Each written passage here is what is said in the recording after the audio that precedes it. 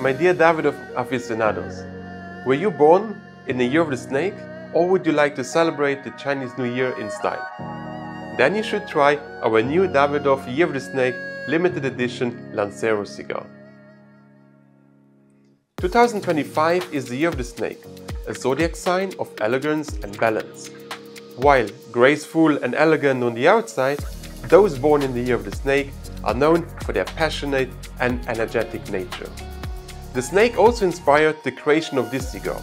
As you can see, its long and slender format is reminiscent of a snake's body, while the blend and taste experience are inspired by the zodiac sign's character traits. As you enjoy this Lancero, the flavors glide dynamically across your palate, often changing direction while maintaining Davidoff's signature balance.